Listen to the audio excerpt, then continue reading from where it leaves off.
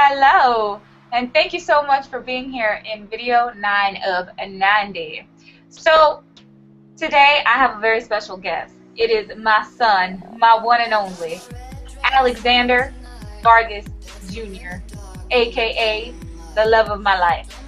So, today's uh, today's uh, video is actually very special because I wanted you guys to get a 14 year old's perspective on entrepreneurship and what he has done to take advantage of making money uh, for himself and how the things that his father and I have learned in terms of being entrepreneurs and reading motivational books and stuff like that and self personal development and stuff like that, how it has affected his thinking. And um, so, on to the question. Vargas, are you ready? Yes, I'm ready. All right. Well, the first question, Vargas, and thank you for being here, my son. I love you. Thanks so much. First question is I remember we were doing this business venture and we had this product, right? And you came to me and you were like, this was when uh, this video game had first come out. And you were like, Mom, I want a video game. So, what was it that I had actually told you? What did I have you do? Uh, well, you told me to, uh, you know, sell this coffee that you got at the time, and you know you were using at the time for business reasons. Um, and you told me to sell that. That's what what what uh, video game was it that you wanted? I wanted um, uh, Grand Theft Auto Five. You wanted Grand Theft Auto Five. All right, and so what did you do? What, uh, how did you feel like when I told you to do that? What was your first initial thought and reaction? I was kind of like scared in a way. Like I was, uh, you know, I didn't want to do it, but at the same time, I knew I had to, and I was kind of just like scared. And you know, um, it actually helped me a lot though because uh, when you, because fear, you think of it bigger than what it really is. You know, so when I finally did it, it was like, oh, this is cool. You know, I'm actually I'm making money in this. Cool. How, did, how did you do it? I'm sorry. I'm sorry. I'm I'm sorry. I'm a bad. I'm a. anyway, go ahead. Alright, but um, but yeah. So, uh, what was it? Oh yeah. So um, I you know I just felt you know confident after doing it, and I started um, you know selling it, and then I made about like 80 bucks doing it, and that's as much as I really needed for this game. And, uh, you know, it was just something that uh, really helped me in life also, so. And how's that? How do you feel like it helped you in life? Well, it taught me how to be more independent and also, you know, very self-confident, uh, you know, like that. So after doing that, I felt, you know, just better for what I did, and I, I wasn't scared after, you know. So. How did you do it? Um. Well, I went door to door. I went door to door, and uh, after you know, I went door to door. What were people's initial reaction to you going? And I mean, it's not like you were going over there with like a box of candy. Yeah. Um. There was like crazy people. There was funny. There was one really crazy person that I that I went to, and then there was like funny. There was cool people, you know, that thought it was a, a cool idea that I was doing this, but there was also some that you know, kind of like, like haters. Yeah, haters, pretty much. oh, this did when I was this age, you know, I didn't do this. But you know, it's good to start early. Some people don't think that, you know, but it's something that I enjoy. You know, if you don't want to do it, then to do it early, then you don't have to. You know, it's just something that I like doing. Right, right, right. And um, so the uh, going moving on to the game. Uh, what you said the, the game was uh, Grand Theft Auto, the the brand new one, right? Yes. And I remember a few things happened. Like I was very reluctant to in buying you that game only because of the fact that it was like rated whatever and blah blah blah. But I was like, you know what? I'm just gonna go ahead and let him. And can you tell me a little bit about that game and what you learned? Well, um, the the game itself is really cool. You know, uh, I'm glad I bought it first of all, and second of all, what I learned from this game is, you know, real estate stock. I mean, it wasn't 100% accurate on it because, you know, it's a video game, but still, I learned a lot from it, you know, when it came to, you know, real estate and stock. Um, like, like kind of like a little bit of the basics, pretty much.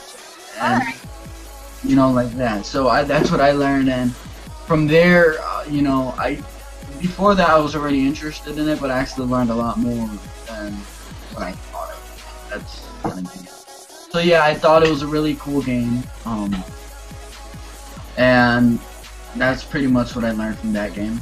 So. Cool. And and I know that you went ahead and you went about looking up a few things when it came to the stock market and stuff like that. And you were actually um, you were actually suggesting that your father and I invest into the stock market. And I remember you were looking it up online and stuff like that. And um, you were saying, look, you know, this is a really good website and they teach you a lot of stuff. So I'm really proud of you for doing that. And um, do you still play that game at all or? Yeah, I still play. it. Like I've been playing it recently now. I mean, not a lot. I haven't really been playing a lot, you know, but still, uh, I, I still play that game and I still, you know, look through stuff. Okay. But yeah. Uh, also, uh, your bird. You have a bird here that you worked for. How did you go about making a thousand dollars for your bird? How did you do that? Well, um, how? Or, well, first it started off like me, because I always wanted to, you know, um, like kind of like bodybuild myself, you know. Uh, and you know, I told my dad about this, and then I, I would like lack off, and I would only do it like one time, and then I felt like, oh, I'm so strong. And my dad started doing it too, so he was like, you know what? How about I pay you uh, twenty dollars every two weeks? I started doing that, and you know, I, I, I started not to like it, kind of. So because it was twenty dollars every two weeks, and then I was like, you know what, Dad? How about you know, like I don't like it no more. And then finally, I find out that they um have a new plan. So my mom and him start talking, and they say, you know, how about every push-up you do is five cents, you know, and then every uh, pull-up you do is ten cents, and then every sit-up you do is like five or one cent, something like that. And when I first heard of it, I thought it was really cool. And at the same time, you know, to be honest with you, I thought like, oh, five cents, one cent, like, come on, that's a little bit of money. But at the end of the day, you know, when you actually really try, which was me, I actually started working out every day, and um, they would pay me, I believe, every week. I forgot, and I'd come up with a lot of money, and you know. Sure did. And a lot of money. Yeah, and I and I and then also, you know, I just started doing the stuff, you know, that I had to do to get my bird, like, like nothing too. So it's all, you know, when I that plan, you know, even though it says five cents, one cent, you know, it actually did um do really good for me. And It motivated you. It motivated you to really work to do what it was that you needed to do in order for you to make the money that you needed to make to buy your really loud exotic bird. Yeah. Um, that I miss very much. But, uh, but um, yeah. So that's pretty much how I went about it, and uh. Really it's just all about you know confidence and you know motivation, self motivation. Right, that totally that motivated you. It motivated you so much that your father was like, "Yo, man, chill. You know, you're gonna break the bank." Instead of he had to actually uh, tell you not not to do so many sit-ups and push-ups in one day. And he'd give me a reason why not to, but the reason was obviously just so he could stop, you know, giving me all that. But still, you know, yeah. So, um, but yeah, that's pretty much uh, what I did. But it was really cool. It was really fun. You know, I don't do it no more. I'm probably gonna ask him after talking about this. I'm probably gonna ask him. But still, you know. Right, right, right. Um, I also wanted to touch basis on the fact that uh, you had a really big following in in on YouTube. You had a really big following, and in essence, you had to learn how to become a leader in a way. Because I mean, what were some things? What are some leadership qualities that you feel like you've acquired uh, from you know, from playing these games and from playing with people online? And also starting your clans and stuff like that. Well, um, you know, leadership. Yes, I you know learned a lot of that, but uh, I felt like I had to, you know, you know, one one thing was I, I only did it because you know I, I really enjoyed it, and also you know the um, YouTube uh, you know was really cool to me at the time, and I started being inspired by other people. So I thought, hey, how about I do this? Um, you know, I tried, you know, I tried it, and it, I still think it's really cool. And um, yeah, I got a lot of followers through YouTube, you know, and I, I thought that, you know, um, you know it was just pretty cool. I really liked it. That's really all it was. That I really liked it, and that you know I wanted to succeed in that, and still, you know, I, I can if I want to. But so, but yeah, it really, and it also taught me a lot too. Again, self motivation, self confidence, and also leadership because there was other people that I was actually trying to like group up behind me. Um, and a lot of people really didn't know that too, but still, you know, um, that's just what I really wanted to do.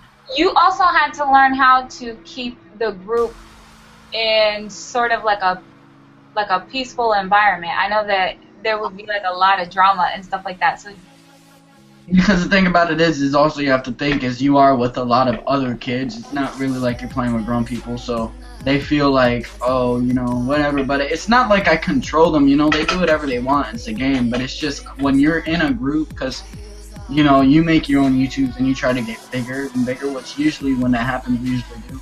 But when you're in a group, um, you're really just supposed to have it all under control. Really, when it comes to you know, like uh, if they're active when it comes to playing, you know, and all that, you know. So that's really what it was. And then you'd have your, you'd also have this thing called a roster, which is kind of like your strategy, kind of like where your people would be. But yeah, you'd have to have, you know, uh, kind of like a, a pattern when it came to that. You know, leaders, that, you know, like.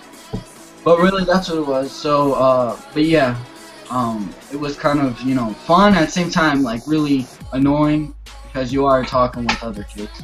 You know? so in in essence, it was almost like you had to qualify them, right? Like, did they have to did they have to qualify in order to get into to the group that you were playing with? Yeah, they'd have to be good. You know, it wasn't it wasn't like a fun group like oh you can just join. It wasn't like that. It's something that really to know you have to like really into and you have to you know. But really, what it was is yeah, you, they have to be really good at it. Now, how can you how can you get paid for that? Um. For me? Yeah. Uh, what it was is um. How can you get paid for that? Sorry, someone's at the door. Uh, but um, how can I get paid for that? Well, really, all it is is if you really want to, first you have to know that you really enjoy it, and second, you have to be very motivated and you cannot lack off at what you do. You know, if you say you're gonna put out a video, uh, a clip, what I usually do, a clip, you know, uh, Monday, then you gotta put a clip out Monday, unless you have a good reason that you didn't. But that really all you have to do is just be very, uh, very, what's the word? Consistent. Consistent. Yeah, consistent with what you're doing. Okay, cool. You have to be consistent. Um, uh, my very last question to you would be this: Your mother. How do you feel about your mom, me, being an entrepreneur and working from home. How do you feel about that? Um, I think it's really cool, um, because you never really see a lot of people doing this. And another really cool thing about it is, is you know, I'm glad to see that my mother's doing something different, and all, at the same time, you know, I'm learning from them because of this, and you know, I get to see her all the time, and I get to see that she's actually doing really good in what she's doing, and you know, what makes her different though is she's a part of the three percent, and it's not like you know he's at someone's you know building, you know, in an office making good money. It's not like that. Really, what she's doing is having fun, enjoying what she's doing. Um, you know, let good things come, and you know the bad things just go right by her like that. It's really all about her being her own boss, and that's really what I really like about what she does. But also, you know, help um, motivates me to do a lot of the stuff that I do. And I'm not doing it only for them, but I'm also doing it for my own good and my future. Uh, but yeah, so I'm really glad that my mother's doing that, and um, I really think that it's really gonna help her, and she's gonna get to where she's always wanted to be when she was a kid, and also as an adult. You know, so. Thank you so much. Those words are so encouraging to me, and it means they mean a lot to me coming from you. Well, son, I totally appreciate you and this uh, short and very brief interview. Um, uh, sorry, I just thought of something because when, okay, when, the, when uh, someone came at the door, they said something. Alright, but what were you saying? What happened? Who was that? Nabila. She came to the door, but what were you saying? Oh no! Thank you so much for for for being on here and allowing me to interview you. And I'm very proud of you, son. Um, I'm very proud of your mentality, the way that you think, the way that you stand up for yourself, and what it is that you believe in. Um, you're definitely intuitive, very wise, you're a smart kid, and I don't have a doubt in my mind that you're going to get somewhere and you're going to get somewhere fast. So, um, yeah, I believe in you, son, and I thank you so much for being here and supporting me. So, thank you so much. Um, thank you for, for those of you who are watching. I appreciate you guys being here. Uh, this is video 9 of 90. I hope you got a little bit of perspective as to, you know, what a 14 year old thinks in terms of being an, an entrepreneur and the power that it has, uh, the personal development when you read your books and and uh, you study and then you teach your children these things. You you apply them, you put them into practice, and then they see you doing these things. So you're definitely building a solid future for the next generation. So I appreciate you being here. Uh, I will see you tomorrow on number 10 of 90. Get at me. Also, if you're interested in working from home and spending that time with your kids and also just being a part of a team that really focuses on um, motivating you, uh, uh, just a, a solid team that's really going to take you to the next level, click on the link below and I will see you on the other side. Bye.